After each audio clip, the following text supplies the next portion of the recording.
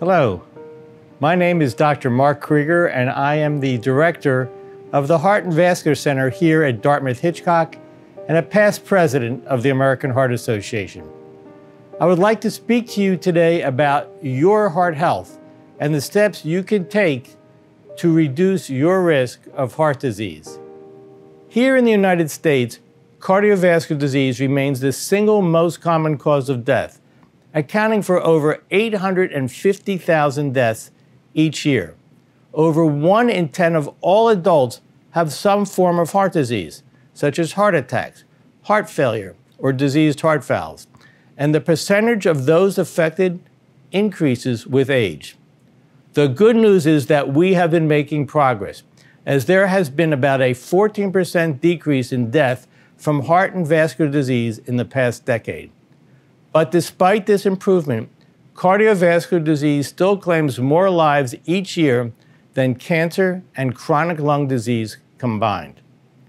Heart disease affects everyone, men and women alike. Heart disease is a woman's greatest health threat and their number one killer. And all racial and ethnic groups are affected. The risk of heart disease is particularly increased among those who are socially and economically deprived.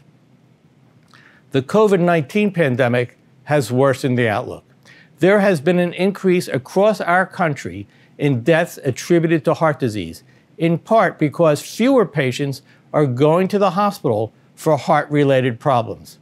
As an example, out of hospital cardiac arrests more than doubled in 2020 compared to 2019. Data suggests that patients elect to shelter in place while enduring symptoms of heart disease. Many remain fearful of being infected by the virus if they go to the hospital and are avoiding urgent evaluation for unstable cardiac conditions. These men and women are at risk of dying at home or suffering severe complications of heart attacks that could have been prevented with timely intervention.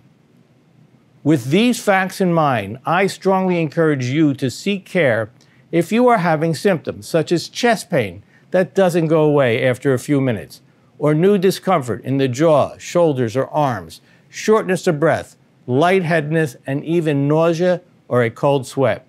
These are all signals that something might be wrong. Hospitals are safe and prepared to accept emergency patients while keeping them protected. If you think you are having a heart attack, call 911 and come to the hospital. Despite these staggering statistics and these uncertain times, there are steps we can all take to help our hearts. These are defined by the American Heart Association as life's simple seven, or seven approaches to staying heart healthy. It is important to recognize that people who take these steps to improve their heart health have a substantially reduced risk for heart related death. Your physician and other medical professionals are there to help.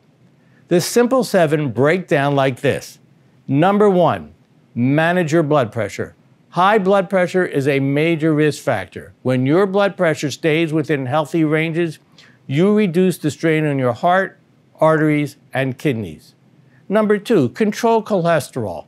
High cholesterol causes plaque, which clogs arteries and leads to heart attacks and strokes. Number three, reduce blood sugar. Over time, high blood sugar can damage your heart, kidneys, eyes, and nerves. Number four, get active. Simply put, daily physical activity increases your length and quality of life. Number five, eat better. A heart healthy diet is one of your best weapons for fighting cardiovascular disease. Number six, lose weight. By getting rid of the excess fat, you reduce the burden on your heart, lung, and blood vessels. Losing weight also naturally lowers your blood pressure. And number seven, stop smoking. Cigarette smokers have a higher risk of developing cardiovascular disease. If you smoke, quitting is the best thing you can do for your health. I'd like to wrap up by encouraging all of you to learn more and share more during Heart Month. Our team will be kicking off the month with special heart and vascular events. While COVID 19 has changed the look of this annual event, we are focused now more than ever on sharing this important information. Thank you.